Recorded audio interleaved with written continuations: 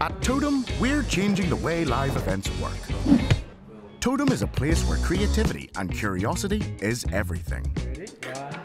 and it's not just in one place. We're all about making events better and more inclusive than ever. From a meeting for 10 to a conference for 10,000, we've been supporting the events industry for over 25 years. But we're no dinosaurs. Far from it. When COVID hit back in 2020, we adapted, packing all that experience and know-how into a best-of-breed platform for virtual and hybrid events. And it's really rather good. At least our clients certainly think so. We've supported some amazing brands, and our platform has been used by some equally amazing people, like this guy. If this sounds good, then guess what? We have a place for you. Actually, we've got many places. Like here, here, here, or even here. And we've got lots of interesting people waiting to meet you.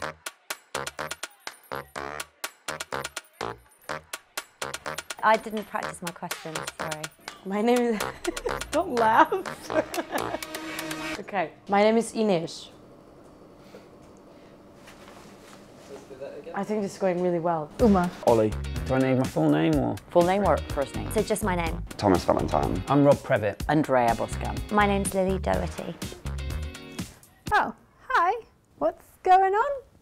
I'm a success manager at Totem, and it's my job to work closely with our clients and make sure that their events are a great success.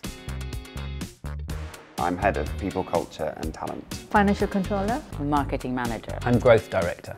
Coming up with ideas and making them happen. Pretty much sums up what I do. So I look after all of the sales and marketing activities across the business. One of the really good things about Totem is the people. The people. Oh, they're, they're the best. They're really nice. No one is the same and everyone is celebrated for being an individual. They're like friends. They all are like friends, you know?